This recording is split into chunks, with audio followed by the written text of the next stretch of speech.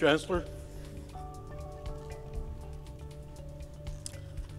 and President Shepard, it is my honor to present to you Mr. Robert Calderisi, an internationally recognized authority on the politics of foreign aid and African economic development.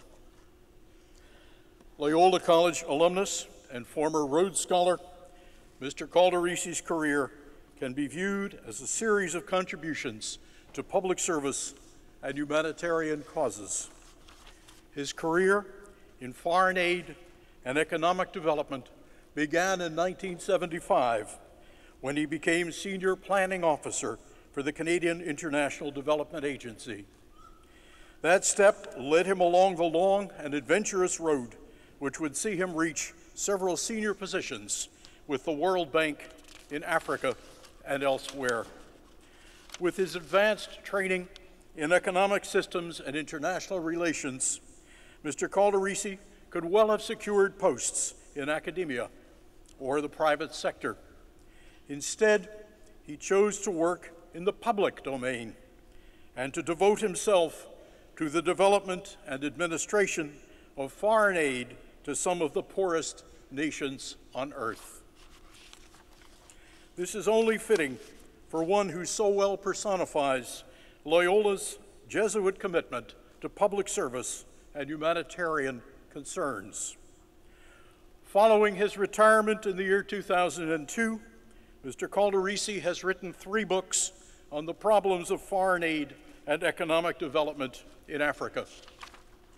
In particular, his 2006 book, The Trouble with Africa Why Foreign Aid Isn't Working, has become a central text in the international debates on the politics of foreign aid. He is frequently invited to consult with foreign governments and to address international conferences on that subject. Throughout his many years abroad, Mr. Calderisi remains a Montrealer at heart and an active alumnus and benefactor to Concordia. In 2015, Mr. Calderisi endowed the Ronald Calderisi Scholarship in Biochemistry in honor of his late brother, an award which emphasizes the training of First Nations peoples in that field. Mr. Chancellor, on behalf of Senate and the Board of Governors, it is my privilege and honor to present to you Mr. Robert Calderisi so that you may confer upon him the degree of Doctor of Laws, honoris causa.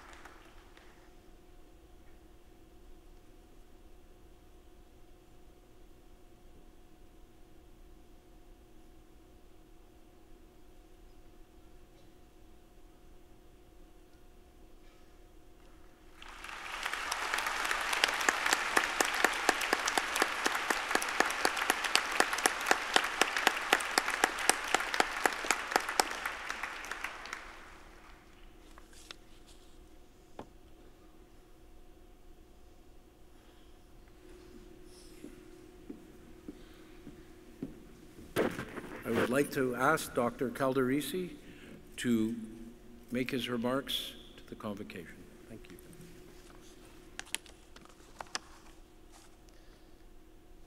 Mr. Chancellor, Mr. President and Vice Chancellor, honored platform guests, family and friends, and distinguished graduates. I am deeply grateful for the honor that my university is bestowing on me today. Whether or not I deserve it now, I intend to try to live up to the honor in the future. It's also a great honor for me to be able to talk to you on uh, this very special day in your lives. In some respects, I envy you. In other respects, I'm quite happy to be on this side of the podium. Uh, Winston Churchill was once asked if he would live his life all over again. And he said, No, because I'm not likely to have the same string of good luck that I had the first time around. I've um, never met Winston Churchill. I'm not that old. But I have met some very impressive people in my life um, Mother Teresa, the Nelson Mandela, two of the great founders of modern Africa, Julius Nyerere of Tanzania and Félix Houphouët-Boigny of uh, Cote d'Ivoire. And closer to home, I've had the privilege of meeting uh, Lester B. Pearson, who was Canada's only Nobel Peace Prize winner, and Pierre Elliott Trudeau. But perhaps um, the most impressive person I've met in my life was not a politician uh, or a writer uh, or a scientist or a business person or a human rights advocate or environmentalist, but a simple nurse that I met in West Africa uh, in April of 1994. I'd been touring a large number of clinics and dispensaries that morning. I was heading up the World Bank office there, and it was a very discouraging visit. Very, none of the dispensaries I visited had the basic necessities for providing care to people coming there. They had no bandages, no medicine, not even mattresses. In one maternity clinic that morning, a woman was injured in, during childbirth. And in the absence of surgical thread, the desperate midwife had to sew her up with electric wiring. I was uh, obviously, the, the staff at these clinics were listless and demoralized, as I would have been. And I felt demoralized myself because I knew how many hundreds of millions of dollars the World Bank and other aid donors were investing in that country's health system. So I was quite ready to go back to my air conditioned office in the capital and write my report. But before we did that, we um, decided to visit one other clinic and were greeted at the door by uh, this wonderful person dressed in immaculate uniform with a radiant smile and really very happy to see us. Little wonder. She had everything she needed. Her medicine cabinets uh, were full. She, her patients were sleeping in beds rather than on the floor.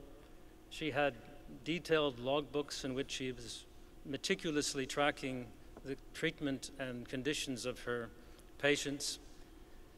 She didn't have any running water, but she'd convinced an Italian charity to dig a well there the following week. She was even replacing the doors and windows of the clinic, which had been eaten away by termites. What was the difference? She had decided not to wait for the state to meet its obligations, but instead had asked the mothers in the area to make a small contribution to the running uh, of the clinic. It was her inventiveness, her determination, yes, even her charm, that had tipped uh, the balance. I thought that perhaps she'd been working there for six months, which explained her enthusiasm. But in fact, she'd been working continuously in that clinic for 11 years.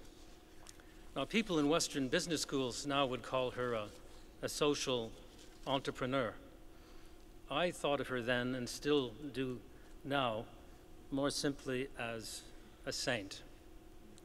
She was a model of service, but also a model of ambition, a quiet form of ambition.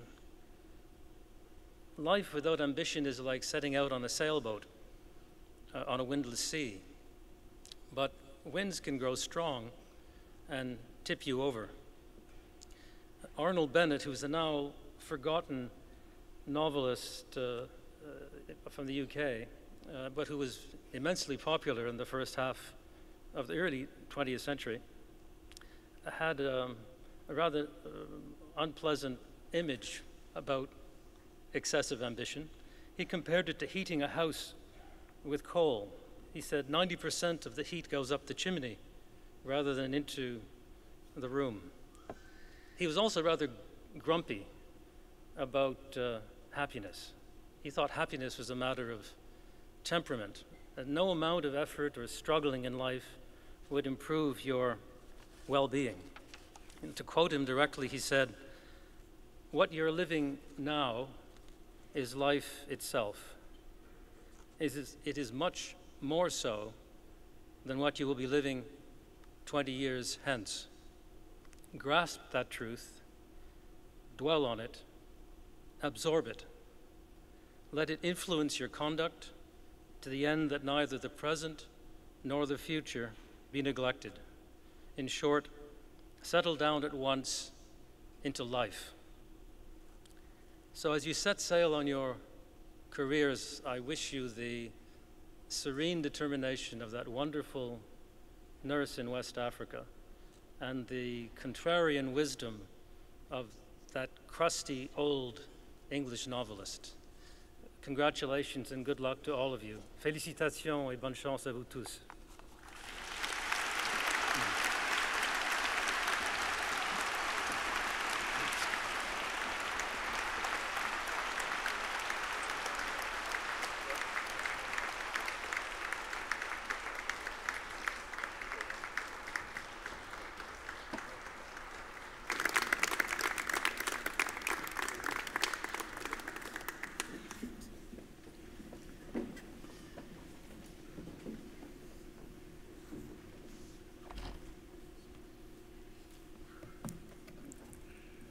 Dr. Calderisi, thank you for your remarks, your humility, your leadership, and the example you set for so many in this world. Thank you.